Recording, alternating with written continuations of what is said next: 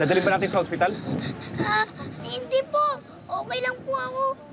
Hanapin ko lang po yung tatay ko. Tatay mo. Boy, saan tatay mo? Zero! Tingnan niyo to, oh.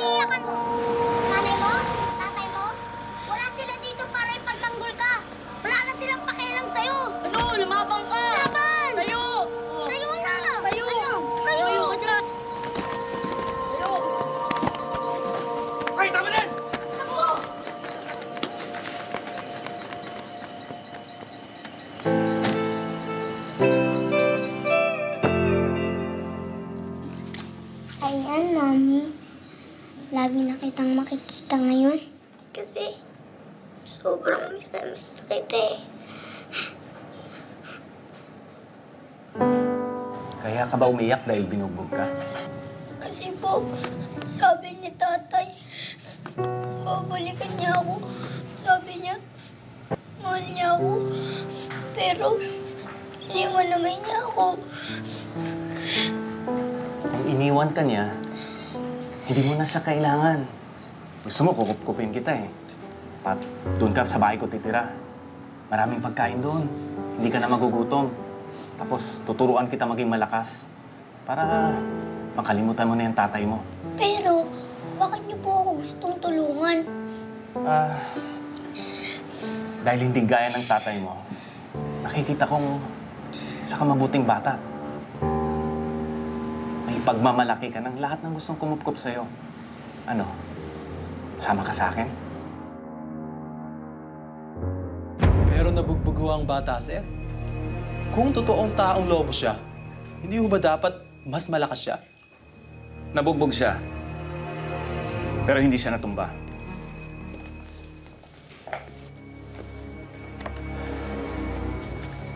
Ang ibang bata sa ganong sitwasyon ay hindi na makakabangon. Pero lumaban si Mateo. Matatag siya, Hector. Bata pa siya. Wala pang kapangyarihan ng mga taong lobo sa ganyang edad. Matagal ko nang pinangarap mapasok ang mundo ng mga lobo. At alam ko, magagamit ko si Mateo para magawa yun.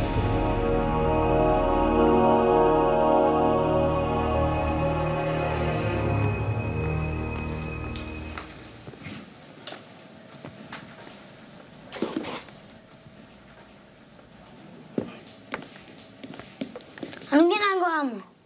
Ah, sinusubukan ko lang. Nagpapatawa ka pala eh. Ako nga, di ko mabubo. Ikaw pa. Alis dyan.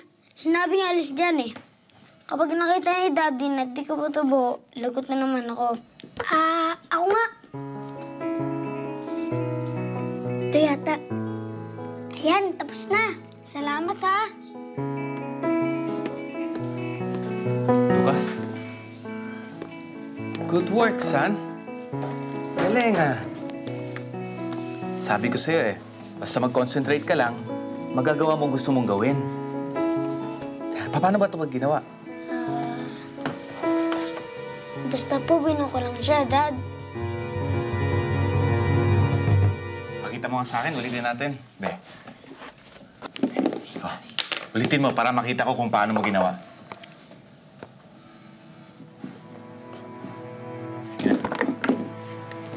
Sa lahat ng ayaw ko, yung nagsisinungaling.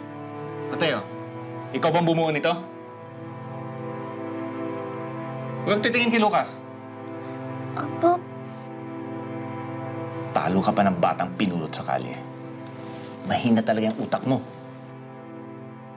Lucas! Lucas, sandali lang!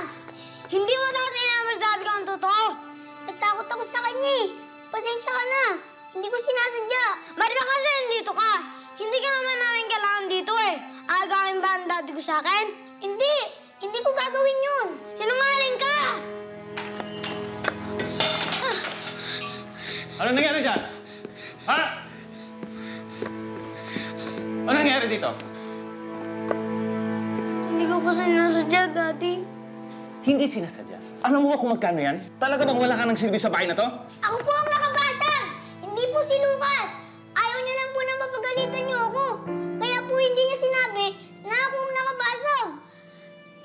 Totoo bang sinasabi niya? Opo. Huwag kang iyak. Maging matapang ka.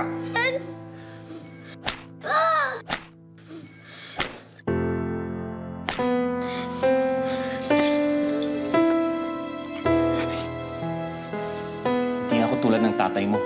Hindi ko sasabihin na mahal kita kung may ginawa kang mali. Paparusaan kita. Pero tuturuan kitang lumaban sa buhay.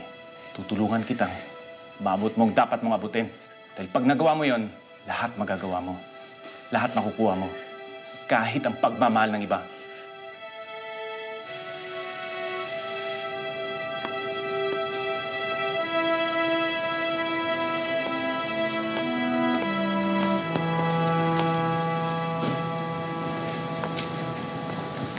Galit ka pa sa akin? Hindi. Okay ka naman eh. Inakamuha kasalanan ko. Kaya ikaw tunay ng bugbog ni Daddy. Sabi ni Dad, dito ka na daw titira. Pero kung ako sa'yo, huwag ka dito. Hindi mabait si Daddy. Nananakit siya. Ginagawa na lang yon kasi gusto niyang maging magaling ka. Kahit sinasaktan ka niya, hindi ka naman niya iniiwan. Di tulad ng tatay ko. Sabi nga niya sa akin nun na mahal niya ako. Pero, iniwan naman niya ako. Tama ang daddy mo. Kung ayaw sa akin ni tatay, hindi ko siya kailangan. Hindi ko siya dapat iyakan. Simula ngayon, hindi na ako iiyak. Hindi na ako magiging katulad niya. Magiging matapang na ako. Magiging magaling. Hindi na ako ang iiwan. Ako na ang mangiiwan. Pangako ko yan sa sarili ko.